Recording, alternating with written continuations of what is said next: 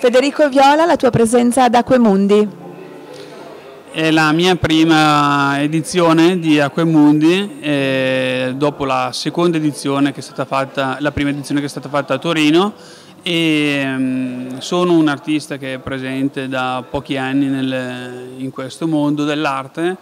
ho avuto quest'anno grandi possibilità a livello anche di, ehm, di opportunità, mettiamola così, eh, con eh, delle collaborazioni che ho avuto con eh, la Cosimo Panini, con eh, l'Agenda Comics per l'edizione eh, limitata del 2015 e mh, mm,